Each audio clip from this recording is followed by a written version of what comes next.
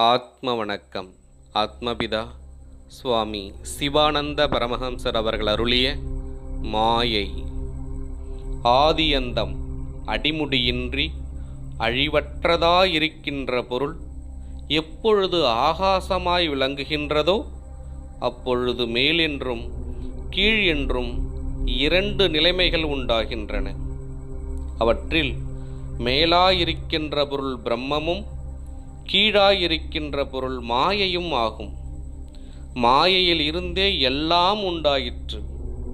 நாம் எவையெல்லாம் கேட்கின்றோமோ காண்கின்றோமோ அறிகின்றோமோ அவையெல்லாம் அம்மாயையிலேயே இருக்கின்றன. மாயை இல்லையெனில் யாதொரு பொருளும் இல்லை.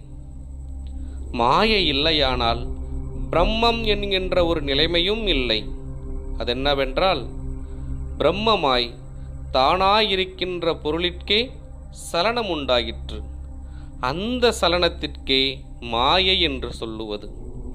ஆனால் உலகத்தில் மாயை என்று சொல்லி வருகிறது இக்காணுகின்ற சராசரங்களுக்கே ஆகும்.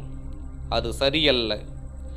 மாயையிலேயே தான் எல்லாம் நிலை கொண்டிருக்கின்றன இதற்கெல்லாம் அடிப்படை மாயை. தானாயும் அக்ஷரமாயும் வித்தையாயும் போதமாயும் ஞானமாயும் அறிவாயும் நித்தியமாயும் உள்ளது இல்லாமல் போகின்றதற்கே மாயை என்று பெயர். ஆத்ம வணக்கம்.